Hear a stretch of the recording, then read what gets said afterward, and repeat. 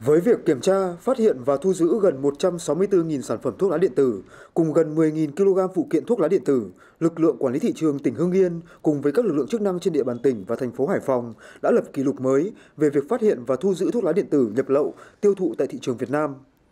Cục Quản lý Thị trường tỉnh Hưng Yên cho biết, sau quá trình trinh sát, thu thập thông tin, các lực lượng chức năng gồm Quản lý Thị trường, Công an, Hải quan của cả Hưng Yên và Hải Phòng vừa phối hợp kiểm tra kho hàng hóa tại huyện Tiên Yên, tỉnh Hưng Yên, đã phát hiện tại đây trên 164.000 sản phẩm thiết bị thuốc lá điện tử các loại, gần 10.000 kg phụ kiện và tinh dầu thuốc lá điện tử mang nhiều nhãn hiệu khác nhau.